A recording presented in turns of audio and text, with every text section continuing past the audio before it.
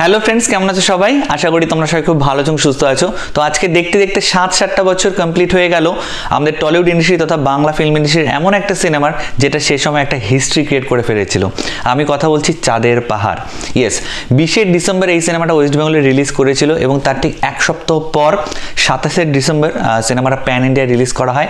আমি দু হাজার তেরো সালে যখন এই সিনেমাটা রিলিজ করেছিল, তখন যেদিন রিলিজ করেছিল সেদিন দেখতে পারিনি। মানে বিশে ডিসেম্বর সিনেমাটা দেখতে পারিনি। আমি সাতাশে ডিসেম্বর দেখেছিলাম, যখন প্যান ইন্ডিয়া রিলিজ করা হয়েছিল। কারণ আমি তখন ব্যাঙ্গালোরে ছিলাম এবং ব্যাঙ্গালোরে খুব কম বাংলা সিনেমাই রিলিজ করে। তো এই সিনেমাটা প্যান ইন্ডিয়া যখন রিলিজ করা হয়েছিল সাতাশ ডিসেম্বর একদম ফার্স্ট ডে ফার্স্ট আমি দেখেছিলাম। এর পরবর্তীতে আই থিঙ্ক ফোরটিন্থ জানুয়ারি দু হাজার চোদ্দ সালে ফোরটিন জানুয়ারিতে এই সিনেমাটা ওয়ার্ল্ড ওয়াইড রিলিজ করা হয়, বিদেশেও বিভিন্ন জায়গাতে পাঠানো হয়। তো এই সিনেমাটা বেস্ট অন বিভূতিভূষণ বন্দ্যোপাধ্যায়ের লেখা একটা অ্যাডভেঞ্চার নোভেল যেটার নাম চাঁদের পাহাড়ি ছিল। এবং কমলেশ্বর মুখার্জি, দেব এবং এসবিএফ এটা প্রমাণ করে দিয়েছেন যে বাংলা ফিল্ম ইন্ডাস্ট্রিতেও এই লেভেলের একটা সিনেমা হতে পারে। তার আগে অবধি আমরা ভাবতেই পারতাম না যে একটা সিনেমা এতটা লার্জ স্কেলে এতটা সুন্দরভাবে মানে সিনেমাটার মেকিংটা দেখলেই তোমরা বুঝতে পারবে।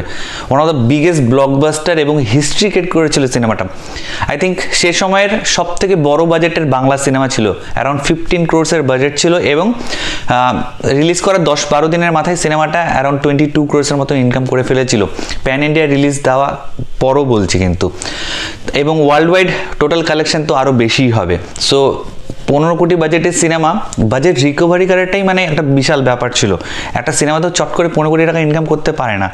তো পনেরো কোটি টাকা ইনভেস্টমেন্ট যে মেন্টালিটিটা সেটাকে একটা হ্যাটস অফ জানাতেই হবে।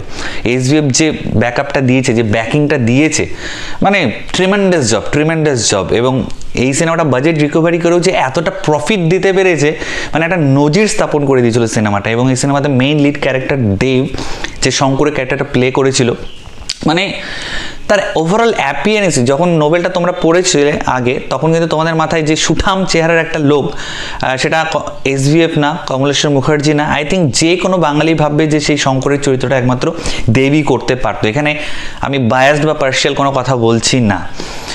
তো যেটা বলার, এই সিনেমাটা আমার দেখা যদি আমাকে টপ টেন বেঙ্গলি সিনেমা আমাকে যদি কখনো বানাতে হয় মানে সব বাংলা সিনেমা মিলে, আমি পুরোনো দিনের কথা কিন্তু ছেড়ে দিচ্ছি।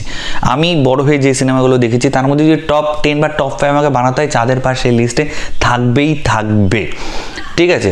হ্যাঁ হয়তো কিছু কিছু ছোটোখাটো ভুলভ্রান্তি, ত্রুটি, বিচ্যুতি ছিল, কিন্তু সেটা নেগলিজিবল সেটাকে আমাদের নেগলেক্ট করতেই হবে। কারণ একটা বাংলা সিনেমার প্রচেষ্টা, যে প্রয়াস, সেটাকে তো আমরা না করতে পারব না। সেটাকে তো আমরা অমান্য করলে তো আমাদের মহাপাপ হয়ে যাবে অ্যাকচুয়ালি যে একটা বাংলা সিনেমা এই লেভেলে লার্জ স্কেলে একটা এত সুন্দর সিনেমা বানিয়েছে, সেখানে আমরা ভুল ত্রুটি এইসব আমরা খুঁজে বার করার চেষ্টা করছি। অনেকেই সেটা করেছিল সে সময়। এখনও অনেকে সেই সিনেমাটা নিয়ে অনেক কিছু বলে যে এই জায়গায় ভুল আছে, ওই জায়গায় ভুল আছে। সিজিআই নিয়ে অনেকে বলছিল লাস্ট যখন বুনিপের সিনগুলো আসছিল, অনেকে বলছিল, আমি বলছি ওইসব দিকে আমি ভাববোই না। বাংলা সিনেমা এটা বানানোর চেষ্টা করেছে, সেটাকেই তো আমরা একটা বিগ সেলুট জানাব। অন্য কিছু আমি দেখতে যাব কেন সেটার মধ্যে? ঠিক আছে? অন্যান্য আরও অনেক সিনেমা আছে যেগুলোর মধ্যে আমরা সেগুলো খুঁজে বার করতে পারব। কিন্তু এই ধরনের সিনেমাতে ভুল ত্রুটি খুঁজে বার করা মানে আমাদের নিজেদেরই, নিজেদের ক্রিয়েশনকে সৃষ্টিকে ইনসাল্ট করা। তো সিনেমাটা এখনও মানে মনে হচ্ছে যেন আরও একবার দেখে ফেলি, ঠিক আছে? আমি ভিডিওটা বানানোর আগেও ইনফ্যাক্ট কেটে কেটে অল্প অল্প দেখছিলাম, মনে হচ্ছে যেন টানা গোটা সিনেমাটা আরও একবার দেখে ফেলি।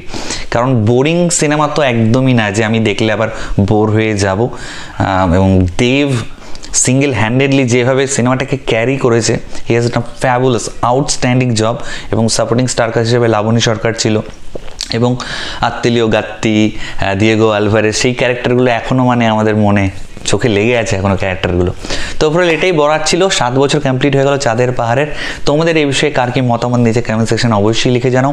আমার ভিডিওটা ভালো লাগলে লাইক অ্যান্ড শেয়ার করতে একদম ভুলবে না। এবং তোমরা যারা যারা এখন রিস্ট ফ্যামিলির সদস্য ওঠেনি, নিচে রেড সাবস্ক্রাইব বাটনটা আছে, সেখানে ক্লিক করে নাও এবং সাথে সাথে আমাদের পুরো সদস্য হয়ে যাও।